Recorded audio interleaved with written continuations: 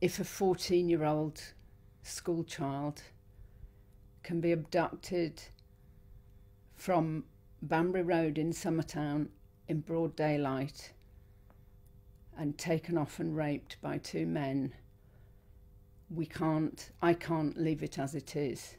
Why, after 32 years, have you decided to waive your anonymity and reach out to this girl? I, I just can't leave it as it is. She's a school kid, she was in uniform. She needs to know if, she, if she's going to get through this in any shape at all, she needs to know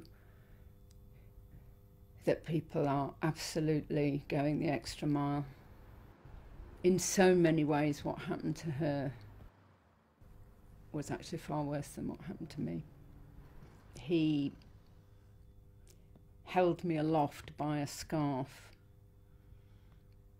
And I really, I had, as far as I was concerned, breathed my last. There was no more air, and my lungs were beginning to uh, heave.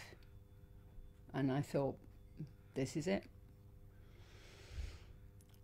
He finally saw through my refusal, my absolute refusal to give him anything that looked like sex. And he came to his senses and burst into tears and, in fact, behaved with enormous rem- remorse. And I really, really, really believe that. If the perpetrators are watching this, what's your message to them? You may be feeling very frightened you are almost certainly going to get caught anyway. So, why don't you, as they say, man up, take responsibility, and if you need support in getting yourselves to the police, I will give you that support because that's what this young woman needs.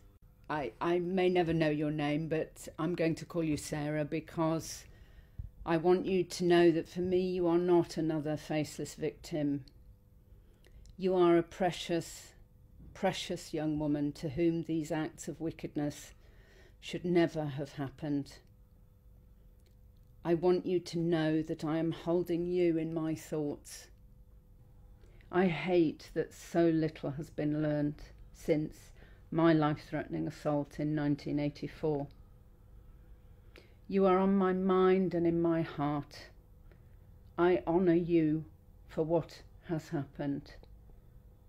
And I honour you for the suffering you are now undergoing.